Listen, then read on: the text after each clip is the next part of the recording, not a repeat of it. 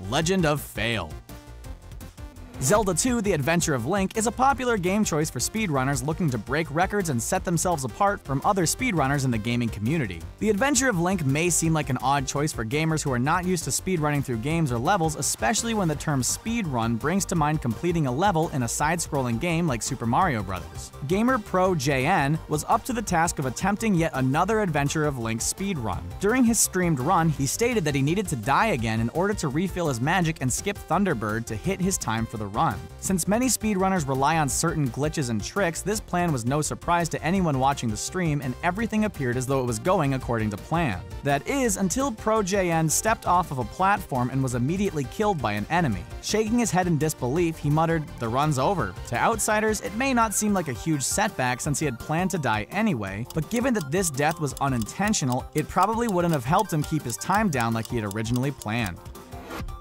Road to Nowhere there is no level that strikes fear into the hearts of gamers quite like Rainbow Road from any incarnation of Mario Kart. Since Super Mario Kart was released in 1992, fans of the franchise have regularly tried to beat this level in a decent amount of time. The level is extremely challenging, however. Not only is the road floating somewhere in outer space, giving kart drivers a fear of heights and ample room to plunge to their deaths, but the curves on Rainbow Road are twisting and unforgiving. It's no surprise that competitive speedrunners would look to this level as the challenge to end all challenges. Even the most skilled players have difficulty navigating the difficult Rainbow Disco terrain, but it just so happens that there are certain tricks that any player can use to get ahead in this level, if they can pull them off with extreme accuracy and perfect timing. Utilizing one such trick, Abney317 was determined to finish Rainbow Road with a perfect timing and set a speedrun record. The trick calls for the player to bounce off another character and freefall down to another portion of the road. Unfortunately, things didn't go as planned and Abney 317 overshot the portion of the road he aimed to hit, sending Toad into a freefall.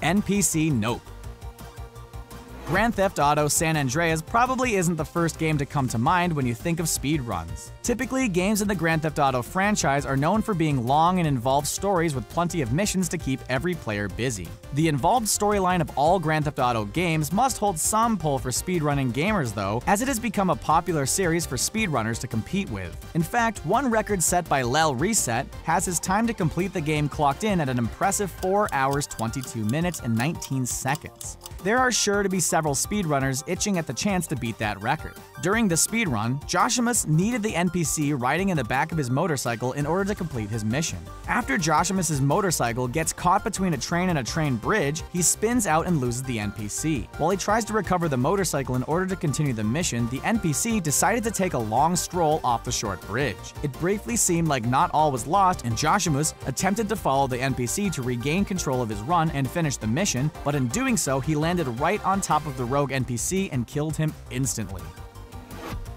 Thanks, Carl.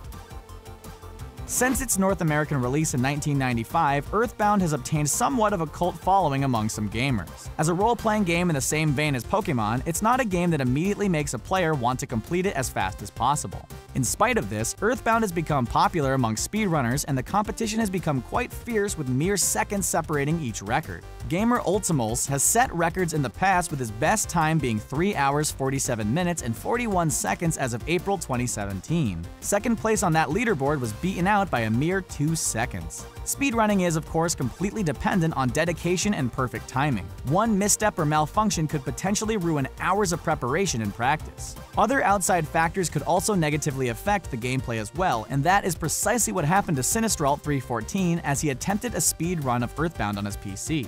Partway through his run, a dog can be heard barking off screen, but Sinistrault 314 is completely dedicated to finishing his run. That is, until his dog decides to intervene, running across what appears to be his keyboard. In and of itself, that isn't enough to completely ruin a speed run, but the dog's actions are enough to freeze the game, causing Sinistrault 314 to exclaim, Thanks, Carl.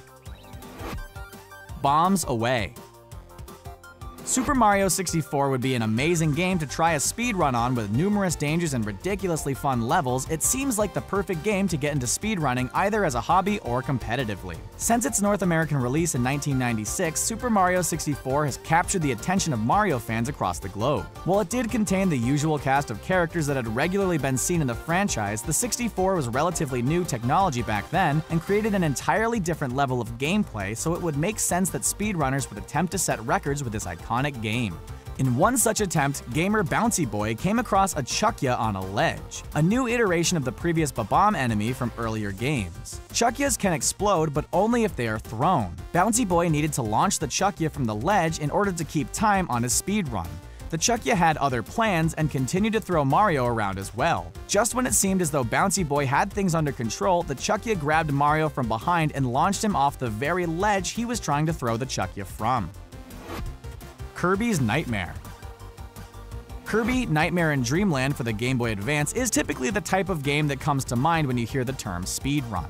A challenging platform action game is perfectly set up for a speedrun, and this revamped version of the previously released Kirby's Adventure has received plenty of attention from speedrunners. According to Speedrun.com, the current record for a speedrun of Nightmare in Dreamland as of 2017 clocks in at an impressive 39 minutes and 17 seconds. This certainly sets a high bar for other competitive speedrun gamers, and who wouldn't want to beat that record? Mr. Shasta set out to beat Halo Dude's record and was making decent time in doing so. During his run, it was estimated that the actions he took shaved off a potential 11 minutes or more, so Mr. Shasta was confident that he could continue on his path to victory.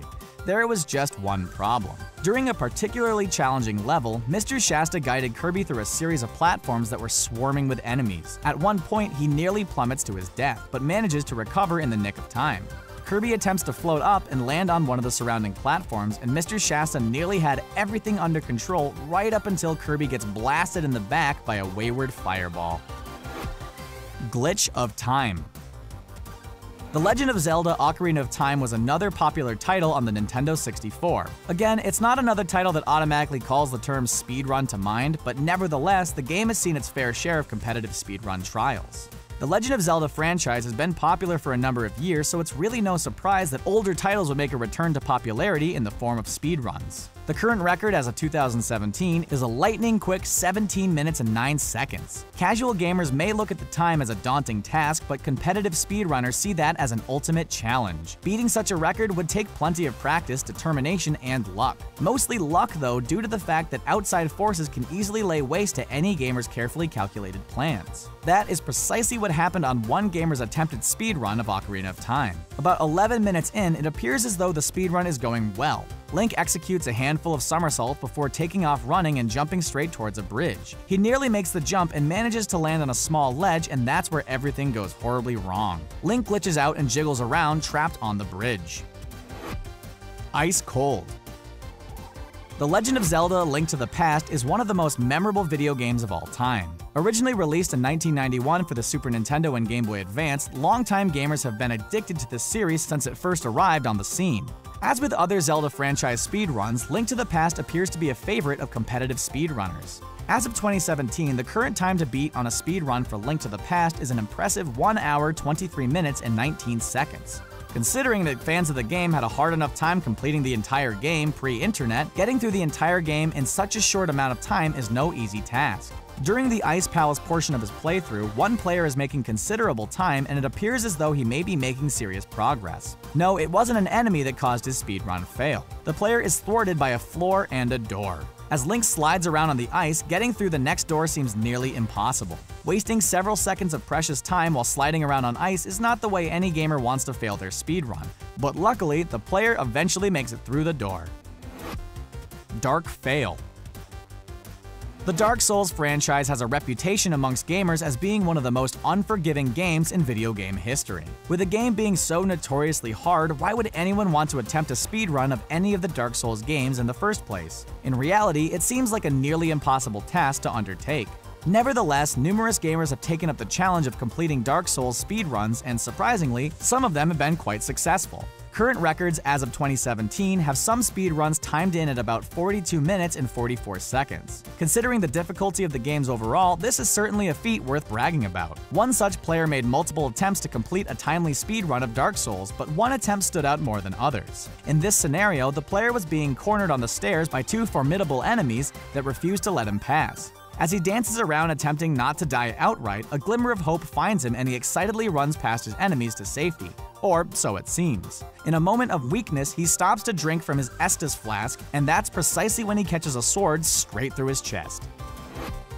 Prince of Crashes The Prince of Persia Sands of Time was originally received poorly upon its initial release in 2003. However, a few glowing reviews later and some interest in other parts of the world catapulted the game onto players' wish lists. As a third-person action-adventure game with a smattering of puzzles, the game itself was entertaining. Speedruns on this game do not seem as popular as speedruns of other games on this list, but that does not mean that no one is attempting to beat the current highest record. In fact, some speedrunning websites list the current record as 1 hour, 17 minutes, and 13 seconds as of 2017.